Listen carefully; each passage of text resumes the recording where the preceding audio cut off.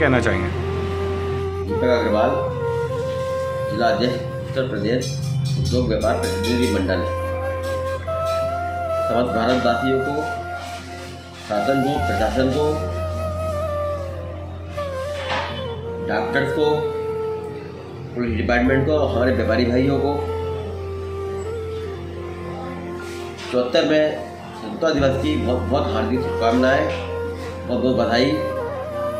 साथियों, ये ये दौर जो चल रहा है, एक कोरोना महामारी का रूप लिए हुआ है, इन सभी को परेशानियाँ हैं।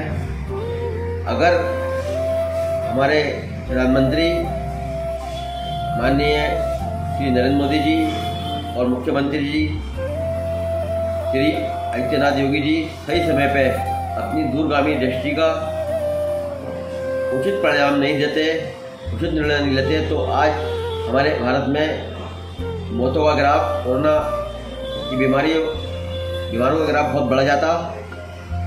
और उनकी वजह से ये ग्राफ काफ़ी सही है, कंट्रोल में है।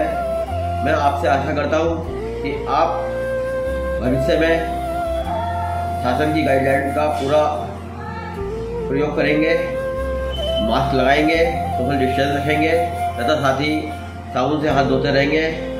और पुनः आप सबको एक बार स्वतंत्रता दिवस की बहुत बहुत शुभकामनाएँ और बहुत बधाई।